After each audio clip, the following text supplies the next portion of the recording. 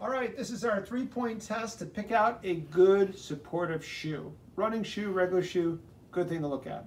So the first thing we want to look at is we want to see how it bends. So if we put light pressure, we should feel like it bends right close to the ball of the foot, where our, toe is and that joint is right on our foot, so we should do that.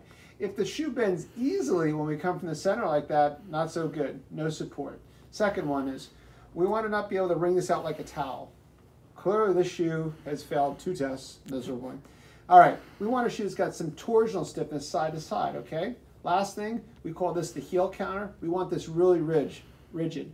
Ooh, nothing there. We got, we got, it's, it's, it's awful. Anyway, so we want that nice and rigid so it controls your foot when you walk. Good luck. You can do this in the store, and it's a really easy test. Good luck and pick up that shoe.